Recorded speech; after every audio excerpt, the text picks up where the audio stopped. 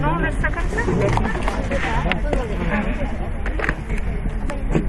Ouais, bah. Non mais je- j'en refer- j'en referai euh, avec Denis. euh, franchement, je me sens bien avec Denis. euh, on fait ça là. C'est pilote qui était juste là, c'est bon,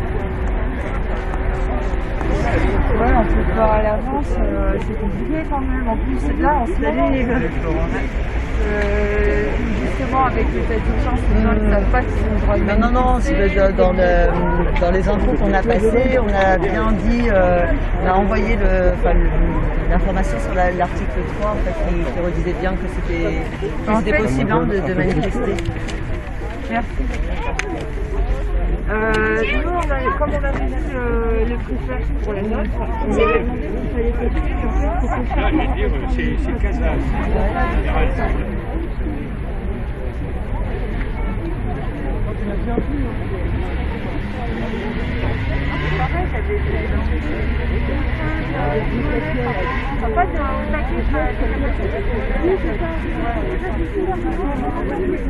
Disons que t'es un peu restreinte, hein. Bon, puis bah voilà, ce qui s'est passé, hein. T'as pas perdu rein, pas de hein. Si, moi j'ai eu ça, putain, c'était bizarre. Je crois que c'était au moment du pic. M'a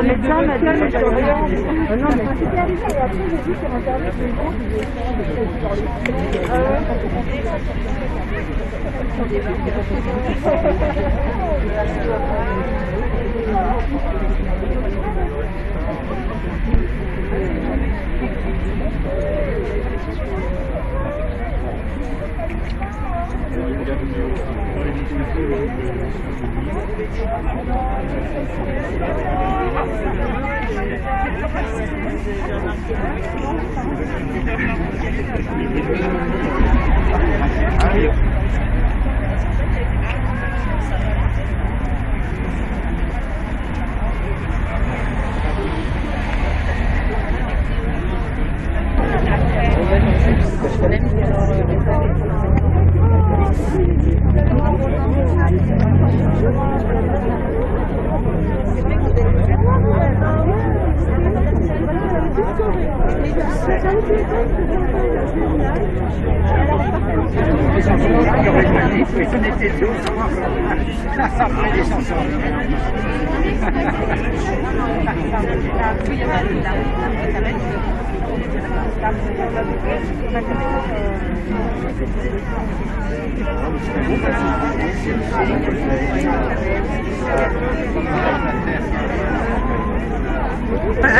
aujourd'hui, ben, qu'on se rassemble tous aujourd'hui, donc pour une manifestation pour le climat. Je dois vous dire pourquoi nous sommes là aujourd'hui. Bon, pour fêter les 5 ans de l'accord de Paris. Le 12 décembre 2015, à Paris, Laurent Fabius, alors président de la COP 21, entérinait l'accord de Paris avec son marteau en forme de feuille. Pour la première fois, un pacte climatique signé par 195 pays définissait un cadre mondial visant à évi- à éviter un changement climatique désastreux. Cet accord reposait sur la volonté des pays et les engagements, les engagements qu'ils prendraient pour limiter le changement climatique à 1,5 degré. Cinq ans après, où en sommes-nous hein? Les politiques publiques sont-elles à la hauteur? Non. Nous en reparlerons. Pense. Nous sommes là pour relayer l'appel de l'association Citoyens pour le climat. Je vous dis un petit mot sur cette association qui a contacté Denis. Cit- Citoyens pour le climat est une association fondée à l'automne 2018 dans la dynamique des marches pour le climat. C'est l'histoire d'un élan, d'une prise de conscience, d'une volonté de faire ensemble, au-delà de tous les clivages, de toutes les appartenances. Un regroupement pacifique, responsable, non partisan, d'individus déterminés à faire converger leurs idées leurs forces pour sauvegarder le climat et la biodiversité. Cette association qui nous a contactés nous a plu. C'est à 8 ans que pour la première fois, j'ai entendu parler du changement climatique ou du réchauffement global. On m'a dit que c'était quelque chose que les humains avaient créé par leur seule façon de vivre. On m'a alors demandé d'éteindre la lumière pour économiser l'énergie et de recycler le papier pour protéger les ressources. Je me souviens avoir pensé que c'était très étrange que les humains, qui ne sont rien d'autre qu'une espèce animale, soient capables de modifier le climat. Parce que si vraiment c'était le cas, on ne parlerait de rien d'autre. Si vraiment c'était en train d'arriver, dès qu'on allumerait la télévision, on attendrait, on n'entendrait parler que de cela. Les gros titres, la radio, les journaux. Personne ne pourrait lire ou entendre parler quoi que ce soit d'autre. Comme si une guerre mondiale avait éclaté ou quelque chose comme ça. Mais personne n'en parlait jamais. Il faut arrêter nos émissions carbone. À nous de le faire ou pas. Vous dites que rien dans la vie n'est jamais blanc ou noir, mais c'est un mensonge. Un mensonge très dangereux. Soit nous parvenons à éviter un réchauffement de 1,5 degré, soit non. Soit nous parvenons à éviter de déclencher cette réaction en chaîne irréversible et alors de tout contrôle humain, soit non. Nous avons tous le choix. Nous pouvons, nous pouvons mener des actions qui garantiront le changement et protégeront les conditions de vie des générations futures. Ou nous pouvons reprendre le cours de nos vies comme si de rien n'était et échouer. Cela dépend de vous et de moi. Vous venez tous nous demander d'espérer à nous les jeunes. Mais comment osez-vous? Vous avez volé nos rêves, nos jeunesses avec vos mots creux. Et encore, je fais partie des plus chanceux. Des gens souffrent, des gens meurent et des écosystèmes s'écroulent. Nous sommes au début d'une extinction de masse et tout ce dont vous parlez, c'est d'argent, de contes de fées racontant une croissance économique éternelle. Comment osez-vous? Depuis plus de 30 ans, la science est parfaitement claire. Comment osez-vous encore regarder ailleurs? Voulez nous dire que vous faites assez alors que les politiques et les actions nécessaires sont inexistantes? L'idée commune qui consiste à réduire nos émissions de moitié dans 10 ans ne nous donne que 50% de chances de rester en dessous des 1,5 degrés de réchauffement et du risque d'entraîner des réactions en chaînes irréversibles et incontrôlables. 50% c'est peut-être acceptable à vos yeux, mais ce nombre ne comprend ni les moments de bascule, ni les réactions en chaîne, ni le réchauffement climatique supplémentaire caché par la pollution toxique de l'air ou les notions d'égalité et de justice climatique. Ces chiffres posent aussi sur l'idée que, ma génération réussira à absorber des centaines de milliards de tonnes de CO2 avec des technologies encore balbutiantes. Donc 50% de risque de rester en dessous de 1,5 degré de hausse des températures, ce n'est pas acceptable pour nous qui devrons vivre avec les conséquences. Comment pouvez-vous prétendre que ceci peut être résolu en faisant comme d'habitude avec quelques solutions techniques? Vous nous laissez tomber, mais les jeunes commencent à voir votre trahison. Les yeux de toutes les générations futures sont tournés vers vous. Et si vous décidez de nous laisser tomber, je vous le dis, nous ne vous le pardonnerons jamais. Nous ne vous laisserons pas vous en sortir. Nous mettons une limite ici et maintenant. Le monde se réveille et le changement arrive, que cela vous plaise ou non. Merci. de Paris avait suscité beaucoup d'espoir. Il avait été obtenu à l'issue d'une COP 21 longue, compliquée, avec des négociations tendues, comme c'est toujours le cas dans ces conférences internationales. Mais au moins, il y avait un accord. Pour la première fois, les États membres avaient réussi à se mettre d'accord sur un même objectif. Ils avaient aussi réussi, enfin ils avaient pris chacun de leur côté des engagements en termes de réduction d'émissions de gaz à effet de serre, des engagements qui devaient contribuer à la réalisation de l'objectif. Cela étant, ils savaient et il s'en était pas caché.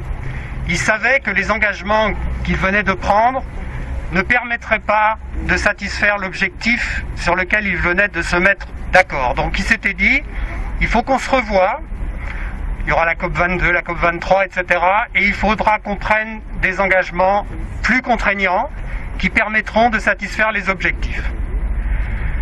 Cinq ans plus tard, alors on voit effectivement que la communauté européenne euh, propose pour l'Europe des engagements plus contraignants, moins 55% en 2030 au lieu des moins 40% qui étaient prévus jusque-là. Ce à quoi les experts disent c'est toujours pas suffisant parce qu'il faudrait au moins moins 65% en 2030. Mais non seulement ces, ces nou- ces nouveaux engagements ne sont pas suffisants.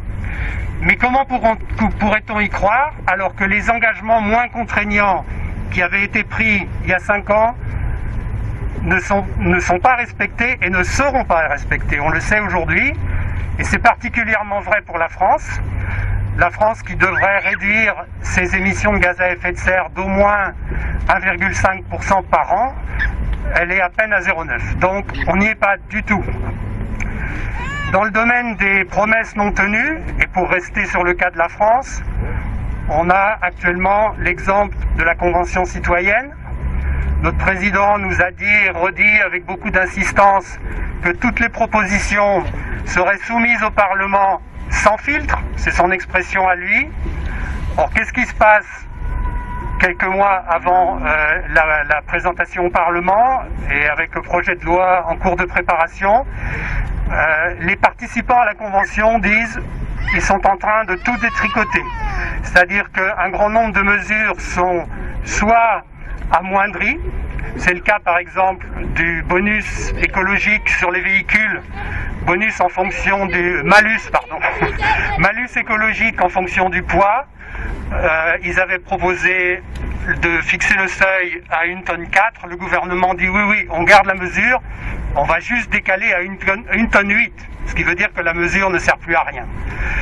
D'autres mesures sont décalées dans le temps et certaines sont carrément supprimées. C'est le cas par exemple de la baisse de la TVA sur les billets de train.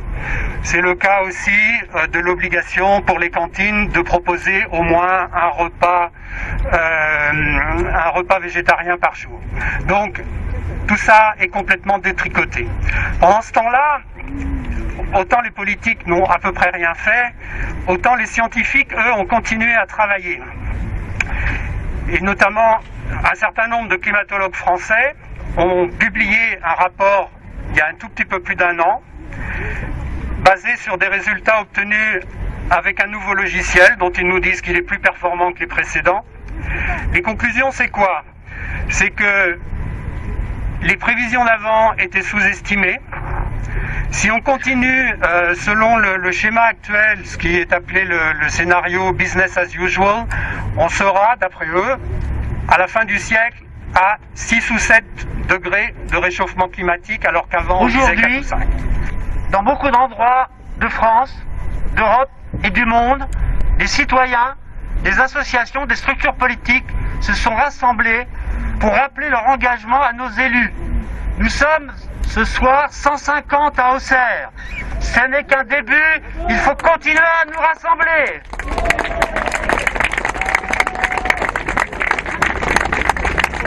Comme on vous l'a expliqué, les accords de Paris n'étaient qu'une enveloppe pour un engagement global, mais flou, signé certes par 195 États pour limiter le réchauffement climatique à 1,5 degré. Chiffre barrière, mais dépassé, à ne pas dépasser, établi par les scientifiques du GIEC. Ces accords avaient en quelque sorte valeur d'auto-réalisation. C'était ensuite à chaque État signataire d'engager des solutions pour réaliser ces objectifs. Cinq ans plus tard, les engagements n'ont pas été tenus. C'est ce qu'il euh, vous a euh, expliqué. Pourtant, les États continuent à nous vendre des engagements généraux à très long terme, comme la neutralité carbone, notion valise dont on ne sait pas très bien les contenus, pour 2050. Rien ne se fera sans nous. Nous devons continuer à nous mobiliser et à faire pression sur nos élus pour qu'ils engagent, pas en 2050, mais en 2021 et 2022, des objectifs pragmatiques dans leur budget pour tenir chaque année les engagements de la France. Intéressez-vous au budget de vos communes, du conseil départemental, de la région ou de l'État. Demandez à vos élus l'application des accords de Paris. Aujourd'hui, nous demandons tous ensemble, à travers notre diversité, de vous engager dans cette direction. Vous pouvez commencer par signer, comme on vous a expliqué tout à l'heure, la pétition d'agir pour le climat, qui réclame une taxe européenne sur les transactions financières, afin de donner les moyens pour atteindre les objectifs. Vous pouvez signer celle de la Convention citoyenne. Et puis pour être local, vous pouvez signer celle qui refuse la bétonisation du parc naturel des Pieds d'Alou à Auxerre. Nous vous invitons à les signer, à les faire signer. Nous vous invitons également à nous proposer des actions pour continuer sur le terrain à agir. L'ORAN est notre relais dans les structures nationales qui organisent ces rassemblements pour le climat. Elle fera remonter les propositions. Des manifestations et une marche sont en préparation pour le printemps. Et puis il y a des élections à venir. Il faut continuer à nous mobiliser tous ensemble pour changer les choses. Et je vous remercie chaleureusement, nous vous remercie tous pour votre présence dans un moment compliqué. C'est ensemble que nous bousculerons les rapports de force et les habitudes de production et de consommation qui nourrissent le réchauffement climatique. À bientôt. Chaque fois que, que tu arrives à convaincre des, des enfants, des adultes, tu leur dis maintenant vous êtes les ambassadeurs. Donc là, c'est ce ce que je vous dis à vous tous. Nous sommes les ambassadeurs du climat. C'est à nous aussi de convaincre autour de nous. Vous savez aussi donc, enfin, que le président Macron accepte les 150 propositions de la Convention citoyenne. Dans, il y a donc des, beaucoup de propositions euh, voilà, qui sont, qui sont euh, faites pour ça, en fait, pour lutter contre, contre le réchauffement climatique, limiter les émissions de, de gaz à effet de serre. Et voilà, et, voilà, et voilà, les, les gens qui sont là, laissez votre adresse mail pour qu'on puisse euh, vous préparer euh, plus en amont, qu'on soit, si on est 150 aujourd'hui, ben, qu'on soit 600, 700, enfin, voilà. Très nombreux en 2021. Oui,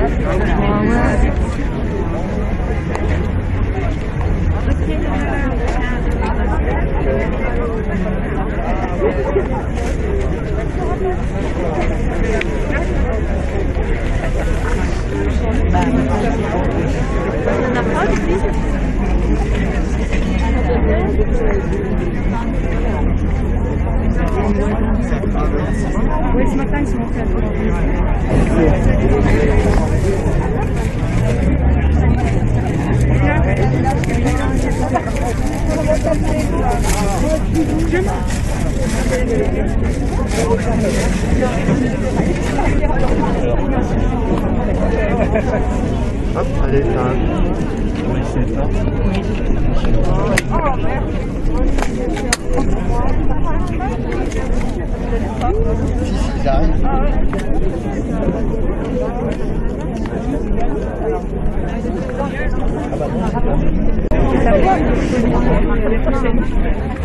Moi j'étais à celle des. Ah, pas sûr Si tu veux, quand j'ai su qu'il y en avait deux, j'ai dit qu'il y en avait deux, j'ai su la peine de la vie.